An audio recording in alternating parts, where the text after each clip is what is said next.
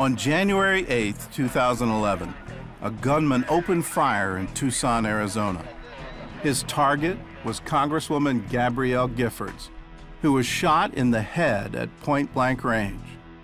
To stop the bleeding, EMTs used a special bandage that puts pressure on wounds and prevents infection. First responders said the bandage saved Giffords' life, and it's one of many medical breakthroughs that got its start in Israel. Israel has one of the highest life expectancies in the world. Actually, our life expectancy here is about four years longer than the US. So if anyone wants to come move to Israel, on average, you're going to add four years to your life. From fighting cancer to giving sight to the blind to making the lame walk again, Israel is leading the world in medical innovation. Every day, millions of Americans use some kind of medical treatment that came from Israel. From Sambucol, a cold and flu medicine made from elderberries, to amniocentesis, used to detect prenatal abnormalities. There's a wireless laser that will someday replace the dentist drill, and the PillCam, a tiny camera in a capsule. It takes pictures from inside your colon, eliminating the need for a colonoscopy. Millions and millions and millions of these procedures are done every year. What if you could make them painless, pain-free, and non-invasive, and take a lot of the risk out of that procedure? That's a classic Israeli solution to a problem. In the field of medicine, finding a cure for cancer is one of the biggest goals. And although a full cure is still in the future, Israeli scientists are making huge advances.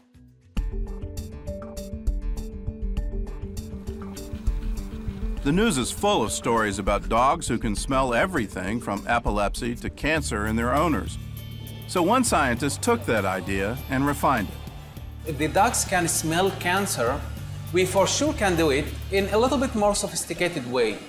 We can communicate with the device much better than we can communicate with the dog. Hossam Haick developed an early warning system for cancer. The nano artificial nose can detect tumors before they're even visible on x-rays, just by analyzing a patient's breath. The device can give the results within five minutes to one hour, more or less. Many diagnostic tools require to swallow a radioactive or active material into, uh, in order to make the diagnosis possible. We don't expose it to any risky x-rays or beams that might make cancer by themselves. The artificial nose is still in clinical trials, where the accuracy rates range from 86 to 97 percent. And it's also being customized to sniff out other diseases as well, like Alzheimer's, Parkinson's, and multiple sclerosis. Our ultimate vision is to bring uh, this device in an inexpensive and very portable way to everybody whether these people live in the Western countries or they live in the third world, because we believe that we have to fulfill a little bit democracy. Other Israeli scientists are focusing on the treatment of cancer, and they're doing everything from burning tumors with thermal heat to freezing them with liquid nitrogen. One doctor is even developing a vaccine for cancer the ImMucin vaccine trains the body's immune cells to attack a specific molecule found only in cancer. And since only the cancer cells are targeted, the vaccine has no side effects like chemo and radiation. With one shot every few months, the body's immune system will keep it under control. We're just educating the immune system to do what it, you know, would try to do itself. We're not inventing anything. In the first clinical trial, the vaccine successfully triggered the immune system in all 15 patients. You will see in the future, I think we uh, enter a field which is very attractive and we just scratched the beginning of it. I think we have a lot of more things to come and I'm very uh, encouraged by what I've seen.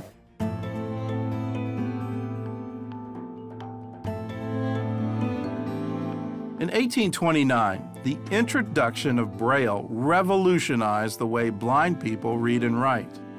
Today, Israeli inventors are taking that revolution a step further.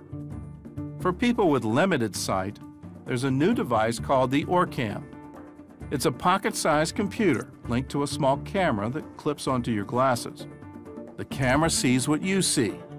And when you point your finger at something, the OrCam will read it for you everything from menus to street signs.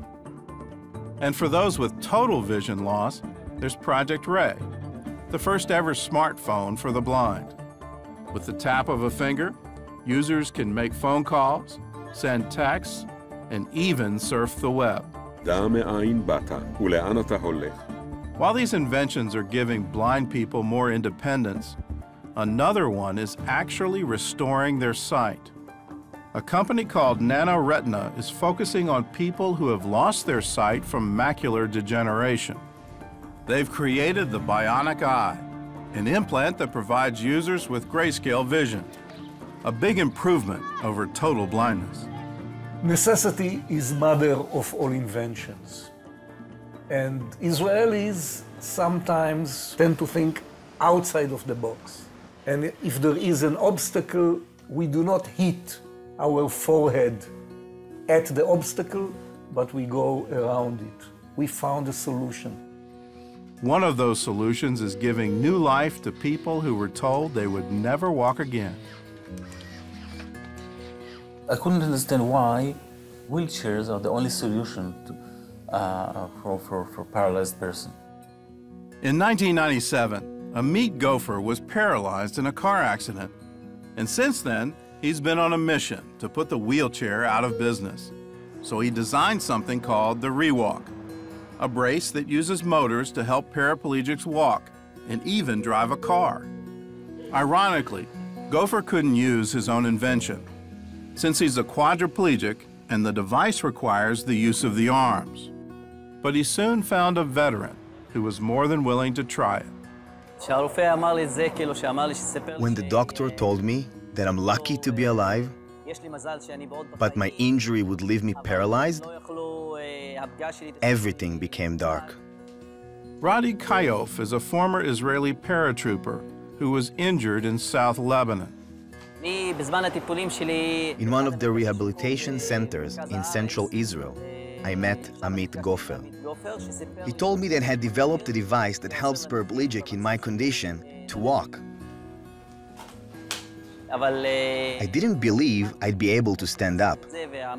After I tried it and the device made me stand up, I was amazed. My daughter was three years old back then. She looked at me and said, Dad, you are tall. That made my day. The bottom line is seeing the families. It is very exciting. They see their beloved one stand, then you want to cry. This is the first time I was really excited. Roddy started using the Rewalk six years ago, and since then, the device has gone global. In 2012, a young woman named Claire Lomas used the Rewalk in the London Marathon. She walked the 26 miles in 17 days, earning her the nickname Bionic Woman. It's a moment I'm going to treasure for the rest of my life.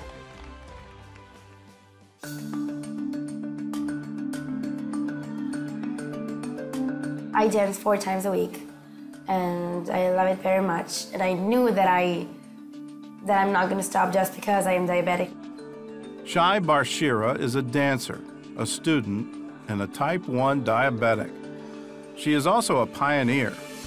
Shai was one of the first people to try a new Israeli medical device, the artificial pancreas. It's still in the experimental stage, and right now it's just a laptop with a series of sensors that monitor the patient's blood sugar. Eventually, the laptop will be replaced by a microchip and an insulin pump. Dr. Moshe Phillip is one of the developers. I promised my patient many times that uh, one day they will get rid of their diabetes. So, despite the fact that we are not able to cure diabetes yet, we would like to enable our patient to live their life without thinking of their diabetes all the time. You have to understand type 1 diabetes, especially during childhood, is something that keeps you busy the entire day. It's there all the time. Dr. Phillip oversaw clinical trials for children in Israel, Slovenia, and Germany. But Shai was the first one to use the device at home without medical supervision. Each time that my levels drop, it gives me a very, very strong alarm that tells me that I have to eat right away. And if my levels go very high, it fixes my levels. It calculates itself how much insulin I should take, and it gives an automatic order to my pump to give me that insulin. And I'm all balanced, even more balanced than I was when I went to sleep. And that's amazing. I think we are going to change the life of our patients. And this is the entire idea to bring back the spontaneity to the life of our patient, to free them from being busy with thinking about how to control their blood glucose level all the time, and especially during the night. I feel there is so much effort made to help the diabetics feel like, you know what, you have this disease, but don't worry. We're trying to cure it, we're trying to make the treatment better, more comfortable, and we'll get there. Feeling that I help other people too, it gives me the strength to keep on. If I am a part of something big, I feel that I'm not alone in this business, and it gives me a lot of hope.